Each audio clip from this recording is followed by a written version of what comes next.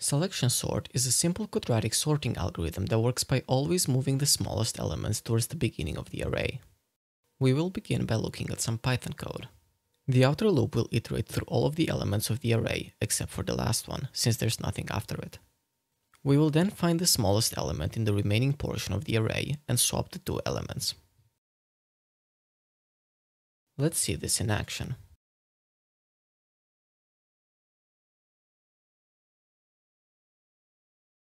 In the first pass, 1 is the smallest element in the array, so we will place it at the start.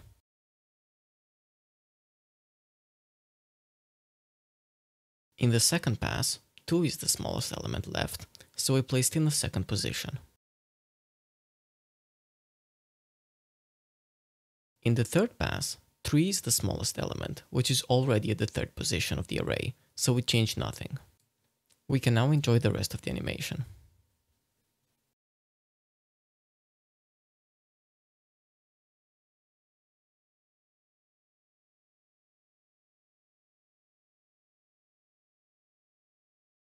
It is important to note that selection sort is not a stable sorting algorithm.